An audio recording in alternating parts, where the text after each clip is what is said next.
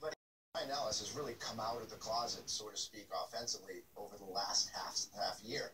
Um, not to have that sort of go past that, but, would but he did.